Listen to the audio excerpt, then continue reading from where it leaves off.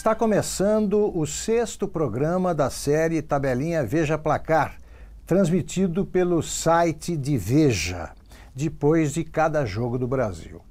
Hoje, o convidado especial do programa é o jornalista Ricardo Sete, que vai dividir comigo o peso dos 7 a 1 da Alemanha, da vitória da Alemanha sobre o Brasil.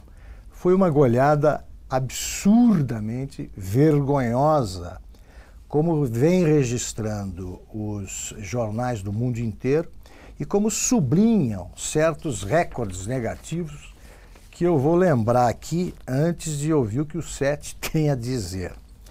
A maior goleada que o Brasil havia sofrido ocorreu em 1919, perdeu por 7 a 2 para a Itália.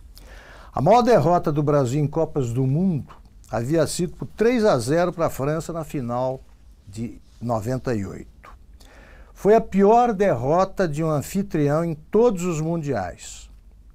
A, a mais vexatória, se é que se pode chamar assim, foi, a, ocorreu na Suécia, quando o Brasil ganhou do anfitrião na Copa de 58 por 5 a 2. Desde 74, um time não marcava cinco gols no primeiro tempo de um jogo da Copa. A última vez que, que quem, desde 74, nesse ano a Iugoslávia ganhou por 9 a 0 do Zaire. É a maior goleada de uma semifinal da Copa. A o último 7 a 1 havia ocorrido quando o Brasil goleou em 1950 a Suécia, que é uma vítima habitual. O Brasil não tomava cinco gols numa Copa inteira desde 1998. Nunca um time tomou cinco gols no intervalo, num espaço de tempo tão curto. 29 minutos no meio do primeiro tempo no Mineirão. Tony Kroos apoiador da Alemanha, volante da Alemanha, se tornou o primeiro jogador a fazer dois gols em 69 segundos, também no primeiro tempo. É a primeira vez desde 1939 que o Brasil leva cinco gols em casa. É a primeira derrota do Brasil em jogos oficiais em casa desde 1975, quando perdeu para o Peru por 1 a 0 em Belo Horizonte. Em partidas não oficiais, a seleção não perdia desde 2002, um amistoso contra o Paraguai, perdeu por 1 a 0 em Fortaleza. E o Brasil é o primeiro país sede que não vai jogar no estádio que abrigará a final da Copa, o Maracanã. Então, Sete, não ocorreu o que se pode chamar de segundo Maracanã. Foi no no Mineirão. O Mineiraço. Né? Agora, o que é que aconteceu na Turbina? Como é que você reagiu a, essa, a esse resultado absurdo? É, fiquei, como todo mundo, espantado, absolutamente pasmo, mas é, a explicação para isso é difícil. Eu vi, vindo para aqui para a Editora Abril, vários comentaristas de várias emissoras de televisão muito mais enfronhados no futebol do que eu, ninguém estava sabendo é, exatamente dizer o que aconteceu, porque eu, eu pelo menos vendo, procurando ver com alguma serenidade a partida, achei que até os 10 minutos, até a Alemanha fazer o primeiro gol, o Brasil estava jogando bem, estava tava, tava tentando marcar a Alemanha no campo dela, ir para frente e tal. Tomou um gol numa falha da defesa, tinha um, um gol até meio bobo, e aí desmantelou de uma forma quase infantil. Era um time de gente é, jogadores sólidos, experientes, que jogam na Europa, na maioria. Jogam na Europa, jogam alguns não, não são meninos. Não são meninos, são, são, são, são jogadores de grandes times europeus, né? do Chelsea, do Bayern de Munique e por aí vai. É, o time se desmoronou de uma maneira que, espantosa. E, e aí é, é eu fico é, pasmo com certas teimosias de técnico, não é, não é apenas o Filipão.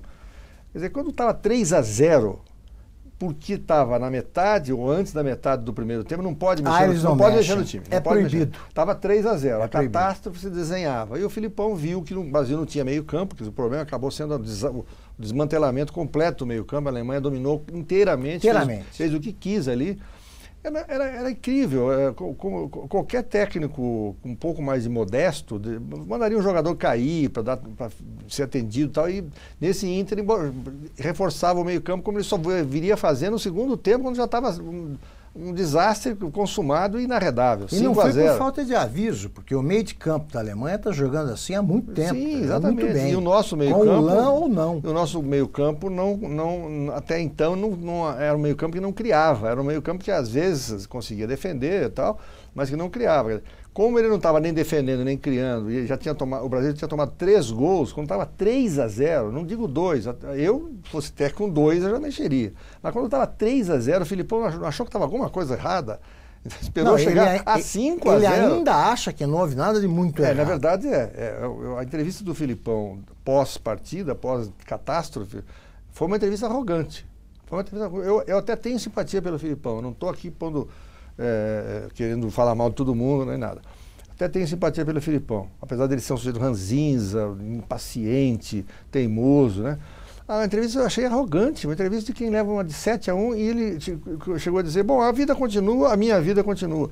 Eu não vi ele pedir desculpa para a torcida brasileira, como fez o grande Davi Luiz. Davi Luiz, é, é, é esse merece Chorando, ser tratado é. como exceção. É, foi até que a, direito. A, a, torcida poupou, ou, ou poupou de Vaz, até aplaudiu bastante. Filipão não. não Aliás, a, a, a torcida, rotina. O, o, Fred talvez tenha sido mais vaiado. Sim. Ele saiu quando? Aos 20 minutos do tempo. Exatamente, eu não sei exatamente o. Parece que a torcida, no momento pede, que ela sai... mantém. O pedido da torcida mantém o jogador em campo. É, não, quem aí, manda sou é aí, aí que o cara fica mesmo, né? Então, dizer, o, o, o, que parece ter acontecido, segundo o consenso de, de, gente mais entendida de futebol do que eu, é que o Brasil naufragou completamente no meio campo. deixa de modéstia, só, você entende mesmo. É, como, só como torcedor, né, Augusto? Mas o, o, o, meio campo afundou, a Alemanha dominou completamente, de, de, de, lá saíram todas as jogadas perigosas, a defesa atarantada, e o Filipão não fazia nada. O Filipão, aliás, nem sequer aquela gritaria na beira do campo houve, né?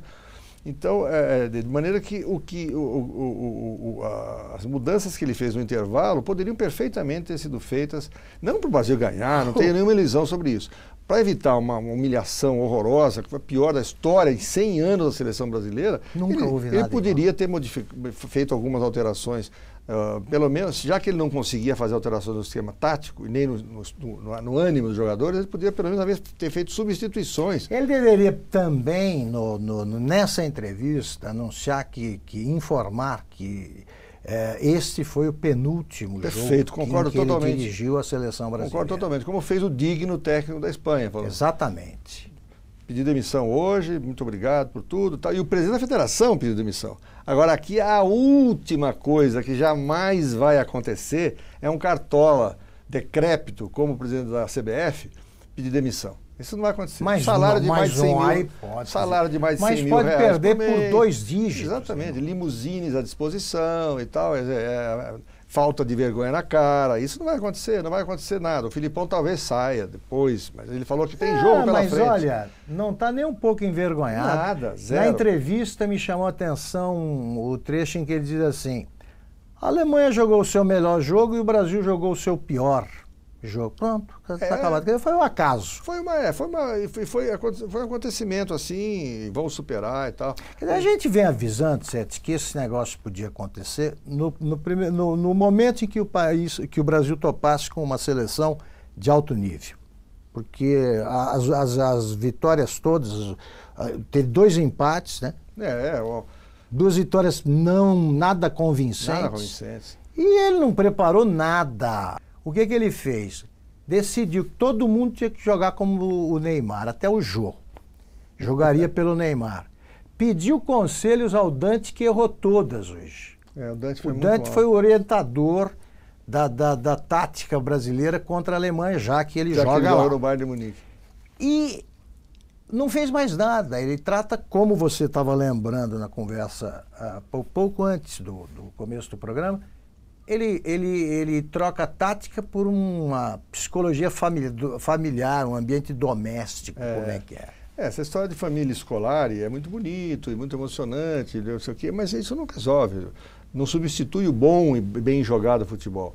É, não quero pôr a culpa no Felipão, especificamente, porque eu acho que jogadores experientes, traquejados e talentosos, como, como a equipe não tem... podem perder por 7 não, não, não, é, não pode se desmantelar. Eles não fazem isso nos seus times, eles se desmantelam nos seus times. É, por que, por que aconteceu na seleção?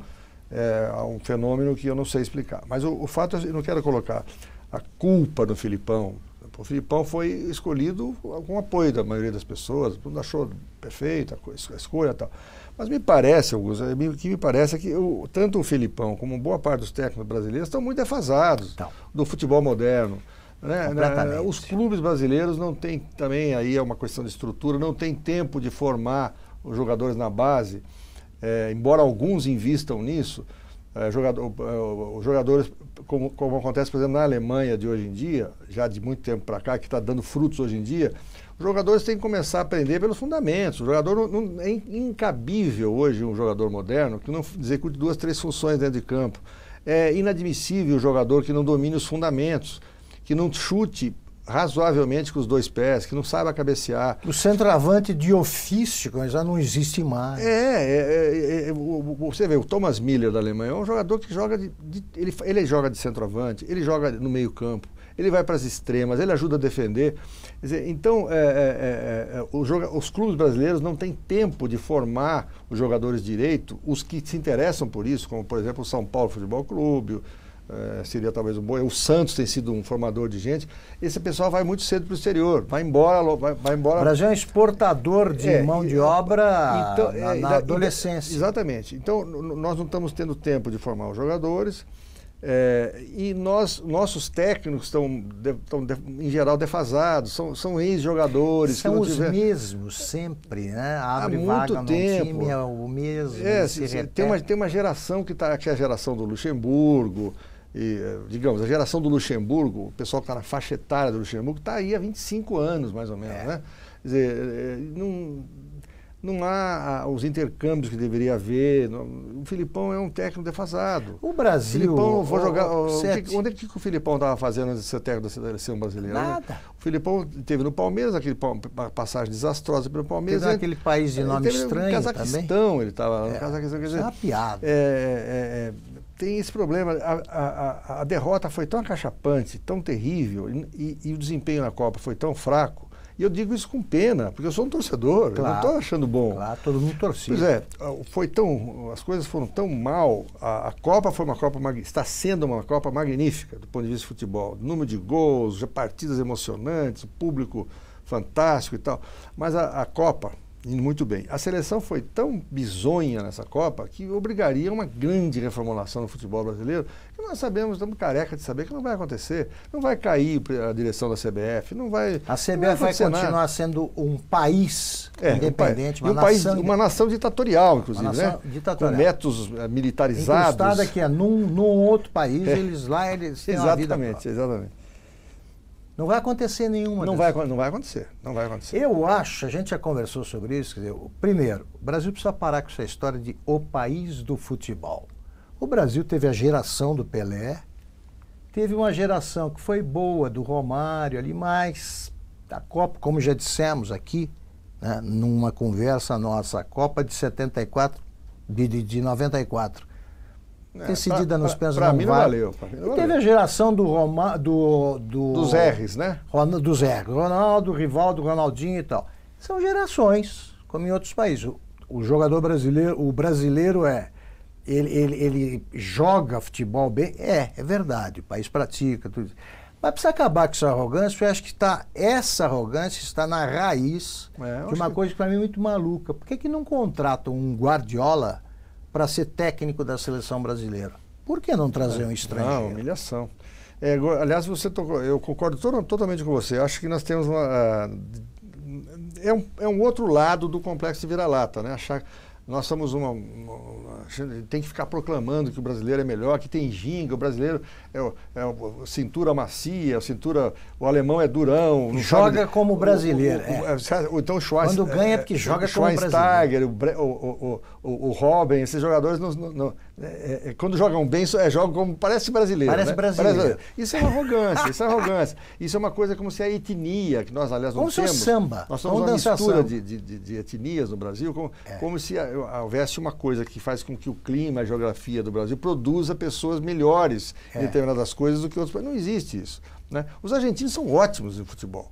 A Argentina produz ótimos jogadores de futebol. Tem, tem tanta ginga quanto. Então, então eu acho que isso aí é um problema. É, da mesma forma como, é, bom, em relação ao que você falou do, do Guardiola, eu acho que o grande vencedor dessa Copa está sendo o Guardiola.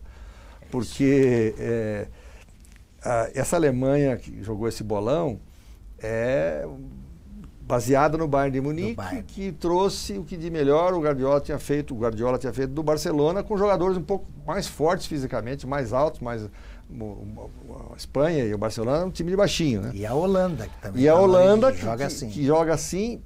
E, então talvez mais do que o Guardiola seja a Copa do Cruyff, porque o Guardiola herdou muita coisa do Cruyff que foi o, o, o, o, extraordinário jogador da Holanda, depois foi o extraordinário jogador do Barcelona, depois foi um extraordinário, foi o maior técnico da história do Barcelona, até o Guardiola. Ele ficou quanto tempo? Ele, ele bateu, ele, ele, é o técnico que mais ficou, mais tempo permaneceu no E ele cargo. deixou de ser. Ficou oito anos no cargo. Deixou de ser técnico. Deixou de ser técnico.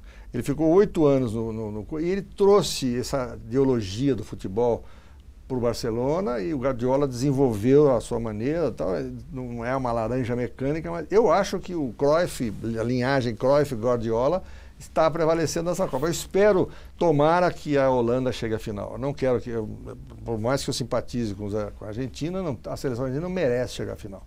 Seria muito bonito ver a Holanda do Robin e, e a Alemanha com esse timaço muito uh, contaminado e pelo que Guardiola. Jogam, você tem toda a razão. Jogam no mesmo esquema, é o mesmo estilo, mesmo estilo. Porque o, o, o nasceu na Holanda, foi para a Espanha, eles aperfeiçoaram ali com técnicos holandeses, como você lembrou, e já contaminou saudavelmente a América. Ah, sem dúvida. Porque esses times todos estão jogando assim, porque eles aprenderam a, tocar a tocar a bola. É, tá, na, na, verdade, eu Até acho que houve, Rica. houve uma evolução geral. O futebol, aquela história de não tem mais bobo no futebol, que os jogadores falam. Os jogadores falam, mas, dizem, mas não parece não acreditar nisso, né? Não há, não há mais bobos no futebol. Tá? Quer dizer que, na verdade, com a globalização que está acontecendo, a, a, e, e, sobretudo com a quantidade de jogadores do terceiro mundo, ou do ex-terceiro mundo, que foi para jogar no, na Europa, que é o grande centro, não porque por razões uh, ideológicas, coisa nenhuma, é um grande centro porque é, é o centro mais rico, né? o futebol mais organizado, mais rico. Como todo mundo está indo jogar na Europa, uh, os jogadores estão adquirindo mais ou menos o mesmo padrão técnico. Né? Então você vê, você estava conversando um dia desse, a Costa Rica, a própria Costa Rica, a modesta, própria... tem jogadores que jogam na Inglaterra, jogadores que jogam só que, não sei aonde. Só que os brasileiros, quando vêm para cá, eles esquecem. É, eles, entram, eles voltam para a família escolar e, é. e aí eles acabam esquecendo. Olha, Sete, eu, eu, eu, eu acho lamentável, senhor, falar, eu não disse, eu não disse, mas aqui eu não resisto a lembrar um trecho de um artigo que eu publiquei no dia 27, ah, eu... que eu fazia só uma constatação. Quer dizer, a, a seleção é uma caricatura do time que venceu a Copa das Confederações. Escrevi. E diz que sem o Neymar era um time comum. Eu acho que o brasileiro sabia disso e acho que isso foi, foi confirmado pela reação da torcida. Não há um clima de tristeza como o de 82 e é, há, um, há, há, uma sensação de vergonha. De humilhação, humilhação de, de, raiva. De raiva. De raiva. Eu, eu, vi os torcedores que a ESPN estava entrevistando torcedores saindo do estádio. As pessoas estavam furiosas, furiosas. Não com A, com B, não, não com Filipão, né? furiosas com, com, com humilhação. Com humilhação. É, e, e, gente que saiu quando estava 5 a 0 não chegou nem ao final. Gente não, que saiu no meio da partida. Tem alguns comentários aqui que chegaram pela, pelo Facebook que a, a por aí dá para ter uma ideia do clima. Assim, ó. Nem os alemães acharam que seria tão fácil. É isso de fato. Outra assim, ó, tomara que acabe logo para vergonha não se prolongar. Assim, ó, gente, você vai pegar uma cerveja e o Brasil leva dois gols. é o tempo de uma cerveja. É. E agora a gente lembra, por exemplo, da, da, de 82 de novo. Né? É. Tem aqui uma, uh, uma crônica publicada pelo Jornal do Brasil, escrita pelo grande Carlos Drummond de Andrade, em 7 de julho de 82. Foi o dia da derrota do Brasil para a Itália, Para a né? Itália. E o Brasil foi eliminado. E aí ele ele disse já perder, ganhar, viver. Já, né? Aí ele conta que viu homens chorando e, ah, e termina. Suplantamos quatro seleções igualmente ambiciosas e perdemos para a quinta. Não se aplica isso ao Brasil. A Itália não tinha obrigação de perder para o nosso gênio futebolístico. O Filipão acreditou que tinha Que a Alemanha que tinha. a Alemanha tinha. E em peleja de igual para igual, a sorte não nos contemplou. Não foi o caso. Diz, paciência, não vamos transformar em desastre nacional, que foi apenas uma experiência, como tantas outras, da volubilidade das coisas. Não foi uma derrota vergonhosa. E termina. E agora, amigos torcedores, que tal a gente começar a trabalhar que o ano já está na segunda metade? É genial, o Drummond. É, eu, a diferença que, que houve, é estranho, né? A gente volta e meia, qualquer torcedor brasileiro, mesmo os que são muito jovens e não estavam assistindo aquela Copa, falam da Copa de 82, do Brasil de 82, da seleção de 82. Sócrates, Copa que Zico, você cobriu, devo lembrar É, mais uma vez. Graças a Deus, para Veja. Zico, Sócrates, Falcão, é, Cerezo, né? Ti- Timaço, Oscar. É, por que isso? Porque é, foi uma equipe que caiu lutando, caiu, eh, perdeu porque queria ganhar, queria ganhar tudo. É, saiu de cabeça erguida, perdeu com honra, né? Hoje nós, nós perdemos com humilhação, foi uma coisa horrorosa. o pessoal estava Fizemos parado entre as pernas. Gol de honra, que é o gol da desonra. Não foi né? de honra. Aos 45 do É. segundo tempo. E o Filipão ainda falou, nós tivemos várias chances, não sei o quê, porque o, porque o, o Paulinho chutou duas bolas em cima do goleiro. É, se fosse 7 a 4 uma vez teve um Palmeiras e Santos, foi 7 a 4 É, dá para respirar. Agora 7 a 1 é, nós perdemos com humilhação. 82 nós perdemos lutando e saímos de cabeça erguida porque demos show de bola. Eu me lembro da torcida espanhola, enlouqueceu com a seleção brasileira, todo mundo torceu para o Brasil. E as pessoas até hoje se lembram desse time que perdeu. E foi a primeira vez na história do, da- da- da- do futebol brasileiro que um técnico que perdeu foi convocado para foi indicado para técnico da seleção da Copa seguinte, foi o Tele Santana, né? Quer dizer, Exatamente. é, é, mostra o quanto essa derrota foi uma derrota na glória, curiosamente, contraditoriamente. Hoje foi uma coisa humilhante. Sete, em 1974, quando eu vi a seleção holandesa, a Laranja Mecânica, jogando contra o Uruguai, eu fiquei angustiado com a possibilidade de ver o Brasil contra O Zagallo não ficou não, hein? que era uma coisa de louco. É, é, Eles cercavam o, o Pedro Rocha, foi cercado ali perto do pau de Pedro escanteio, Rocha, que era um monumental um jogador. monumental jogador. E ele não tinha o que fazer, porque é, parecia um enxame né, de abelhas ali, com aquele alaranjado, e tomava a bola, daqui a pouco estava no ataque. Pois bem, eu fiquei apavorado com a possibilidade do Brasil jogar contra a, a Holanda. E não fez feio. Passou ao aperto tremendo, perdeu, se não me engano, por 2 a 0. 2 a 0. 2 a 0.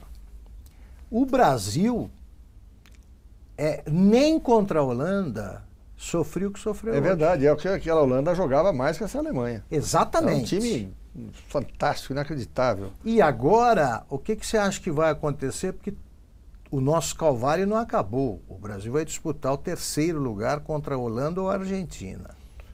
Bom, não, não, tenho bola de cristal nem você, né? Eu sei que você não perguntou com esse intuito. É, mas do jeito que está abatido o pessoal, enfrentar a Argentina ou a Holanda, é, é que essa partida, eu acho que essa partida nem devia existir, viu, Augusto? Porque é, os dois times Também vão. acho. Os dois times vão se arrastando ali. É, uma, é, uma, é um prêmio de consolação horroroso. Tinha que- Precisava. Declara os três aí. pelo- pelos os pontos. Dois. Não, pelo número de, de gols e tal, faz um critério, já É. automaticamente fica o o terceiro e quarto. aí. Esse jogo é um jogo absurdo, porque os times, mesmo o Brasil, suponhamos que o Brasil vai.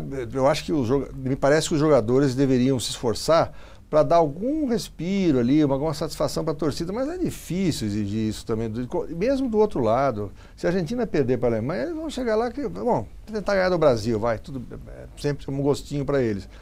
Mas é, é um jogo que não tem cabimento. Eu acho que a FIFA de eliminar esse jogo. Ah, aliás, a FIFA só faz, faz muita besteira também. Só para um, um parênteses aqui que eu não resisto. A FIFA conseguiu descaracterizar todas as seleções da Copa com seus uniformes. O Brasil jogou com seu uniforme verdadeiro só é hoje. Só hoje. É Nenhum time jogou com seu uniforme completo. A Alemanha nunca jogou com o uniforme nem hoje, é muito menos hoje. O, o, uniforme da Alemanha, hoje eu não, não me lembro. É, o Flamengo, nunca, é. parece que é o uniforme que eles ganharam a Copa, a Euro de, de 72. Sei. Enfim, a Alemanha jogou sempre toda de branco, nunca jogou com calção preto. Os argentinos jogaram com calção branco quando eles jogam com calção preto. Os ingleses, que têm uma magnífica camisa vermelha, com aqueles leões aqui e tal, jogaram de branco o tempo todo. E não há nenhuma necessidade. Eles voltaram à etapa em que precisava diferenciar um time do outro por causa da TV preto e branco. Oh, meu Deus do céu. Né? Isso já, já passou. Né? Talvez no, no, no Afeganistão tenha TV preto e branco, mas a FIFA descaracterizou todas as seleções. E eu acho isso uma coisa que é, é, faz perder a graça um pouco. Perfeito. A Itália jogou também sem o seu calção branco, a camisa azul. Aliás, Sete, aqui a crônica do Drummond faz uma menção interessante, que é o presidente da época que era João Figueiredo, né? 82. Ah, era, era, o infeliz presidente João, João Figueiredo. General João Figueiredo. General João Figueiredo, diz assim. Via a decepção controlada do presidente, que se preparava como torcedor número um do país para viver o seu grande momento de euforia pessoal e nacional depois de curtir tantas desilusões de governo. E aí eu tenho de lembrar do ex-presidente Lula, que de repente né, com os estádios superfaturados, com a gastança absurda e tal. Começou a ver esse clima de carnaval temporão e embarcou. E num discurso em Curitiba ele começou assim, eu não sei imitar o ele fala assim, gente, que Copa, como é que é, é, gente, que Copa maravilhosa, não, meu Deus do céu, Deus do céu. gente do céu, gente, gente do, do céu. E propõe uma espécie de Copa permanente. Ele diz que tinha que ter Copa todos os dias, porque assim você não tinha que assistir aos jornais, da, aos telejornais da tarde que te dão más notícias, né? Que conta a verdade ali. É.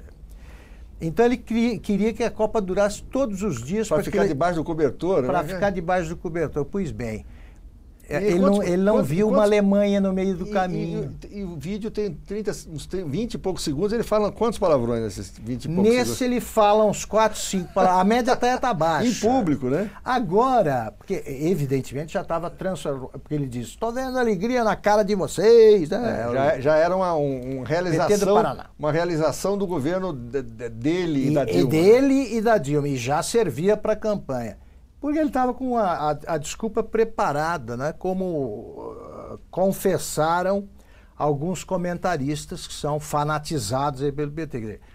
O Brasil sem o Neymar tá, é perder de 1 a 0, 2 tá, não, é, não vai fazer feio. A Copa foi essa maravilha, porque é todo mundo feliz, o brasileiro está contente e tal. Pois bem, deu tudo errado, né? A Dilma disse que iria entregar a a, a, a, taça, a Copa, ao vencedor depois de remanchar por um bom tempo por causa da, da situação do Brasil. Ia chegar ali, disputar o terceiro, tal, talvez chegasse à final, e agora? É, eu te interrompi que eu sei dizer, o Lula fez isso assim, assim, mas ele não contava tinha, como é tinha uma? Com a Alemanha no meio do caminho. Alemanha no meio do caminho. É, ele já estava, ele já estava, aliás, ele estava um pouco alterado, o que será? Não, não sei. Ele tinha almoçado, é, né? tinha almoçado, é. é tinha almoçado, ele se anima tava depois animado, é. E futebol é especialidade é, dele, né? Torcedor número um, né?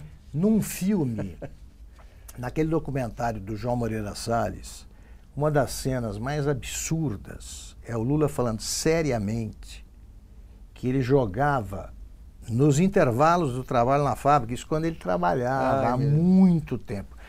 Ele, ele dizia o seguinte: eu, eu jogava muito bem, tá? Falando, se não me engano, com o Zé Alencar, o candidato a vice.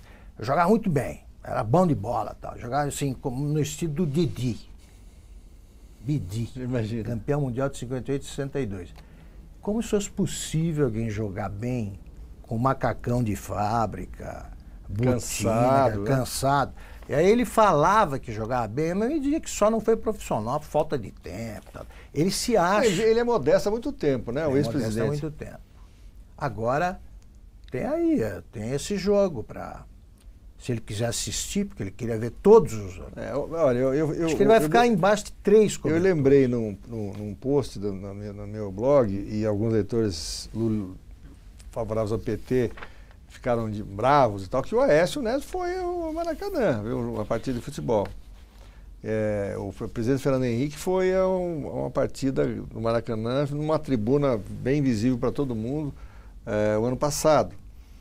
E não aconteceu nada. Hoje eu não ouvi, mas é, o pessoal da, da ESPN falou: ih, está sobrando para presidente. O público estava fazendo alguma referência semelhante à que fez aqui no, no, na Arena Corinthians e que eu acho não acho legal né nesse eu tipo prefiro de, a vaia tipo de xingamento. É, a vaia é, a, a vaia democrática a, a vaia diz tudo sem palavras. É, é, é mas é, tomara que ela mantenha a disposição. Ela disse que a, presidente disse que vaia são como ela disse? São ossos, ossos do ofício, ofício, ossos do ofício. Acho que ela, ela, ela devia ir. Vamos ver se ela tem se ela tem realmente Bom, disposição para isso né? para encerrar nossa conversa até amanhã você tem alguma. Qual é a sua expectativa para a semifinal de amanhã? Está apostando em quem? É, pelo futebol, é a Holanda, a Holanda deveria ser a favorita, né, eventualmente. Mas a, a Holanda tem uma, umas vezes amarela diante de certas camisas. um né? É, é, eu, eu, eu, não sei. Eu acho que a camisa argentina e o, e a, e a, o fator Messi, né? Que, que o Messi é um, é um, é um cara tão extraordinário que ele se você olhar o que ele fez na, na Copa, é, praticamente ele, todas as partidas da Argentina ele decidiu. Ou fazendo o gol decisivo, ou, como aconteceu na última partida, dando aquele passe para o Di Maria. Não foi, não foi na última partida. Na última partida foi a Argentina fez um gol de sorte mas ele é, é, é, ou ele faz o gol ou ele ou dá o passe ele, decisivo, ele dá o passe. o passe decisivo para o gol. E ele ainda, apesar de não estar tá brilhando extraordinariamente na Copa, ele é um cara que desequilibra. Tem é, decidido é, é, desequilibrado. Era o caso do Neymar, ele vinha é, desequilibrando. Mais do que o Neymar até. Então, é, o fator camisa e o fator Messi fazem com que eu, eu pessoalmente torço, embora simpatize muito com os argentinos, o futebol argentino, torço para a Holanda porque eu acho que a Holanda moralmente merece ir para uma final. Já foi a três e perdeu merece tentar mais uma vez. E também porque isso ampliaria o clube, né? Ah, eu sou a favor. Eu estava dizendo, conversando um dia desse. Fazem parte do clube Brasil, dos que ganharam a Copa do Mundo: Brasil, Argentina, Alemanha, Itália, Espanha, França. França. E, a meu ver, indevidamente o Uruguai. Bom, o Uruguai ganhou em 50. Aquela Copa de 30. Há muito não, tempo. Aquela Copa de 30, é, disse um, algum comentário esse dia dele, é uma Copa meio que é trefe. É, os times foram convidados, nenhum grande seleção, nenhuma grande seleção europeia veio, tal, o Uruguai ganhou em casa. Mas, enfim, ganhou 50, vai. Eu sou favorável a ampliar o, o clube, porque eu acho que para o futebol é melhor ampliar esse clube, que a Holanda entre para esse clube. Eu gostaria, embora eu ache a Alemanha o melhor time da Copa, se a Holanda ganhava, ganhasse um eventual final contra a Alemanha e passando antes pela Argentina, seria bom para o futebol. Perfeito. Sete, é um prazer, como sempre, Prazer é meu. Conversar com você sobre futebol também. A gente tem pouco tempo para isso. É aí. melhor do que falar de política. O Tabelinha Veja para cá volta amanhã, excepcionalmente, que não é dia de jogo do Brasil, mas vamos tratar da semifinal que será disputada, a vaga na, na, na final que será disputada é, é, entre Argentina e Holanda. Eu vou conversar com o jornalista Carlos Maranhão. Muito obrigado a você que nos acompanhou até agora e até amanhã.